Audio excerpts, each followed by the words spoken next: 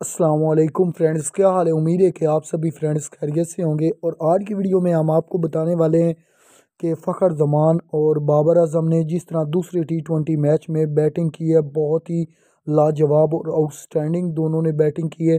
तो India Australia के जो सबक कप्तान है रिकी पॉन्टिंग वो उसके बारे में, दोनों के बारे में क्या कमेंट्स करते हैं, उसके बारे में मुकम्मल अपडेट देंगे। उससे पहले अगर आप हमारे चैनल पर नए आए हैं तो जल्दी से हमारे चैनल को सब्सक्राइब कर लें ताकि मज़ीद आपको ऐसी वीडियो मिलती रहें। तो चलते हैं, वीडियो स्टार्ट करते हैं और हम आपको बता दें कि पाकिस्तान और न्यूजीलैंड के दरमियान पाँच टी ट्वेंटी मैचेस की सीरीज़ का दूसरा टी ट्वेंटी मैच आज खेला गया है, जिसमें पाकिस्तान टीम को जो है वो तकरीबन छब्बीस रन से शिकस्त का सामना करना पड़ा है, जिसमें सबक कप्तान बाबर अजम और फ़खर जमान की आउटस्टैंडिंग हमें परफॉर्मेंस देखने को मिली है। रिकी पोंटिंग का कहना है कि फ़खर जमान इस तरह के डेंजरस बल्लेबाज हैं। अगर वो पिच पर खड़े हो जाएँ तो फिर वो दुनिया का कोई भी बॉलर हो तो उसको नहीं बख्शते।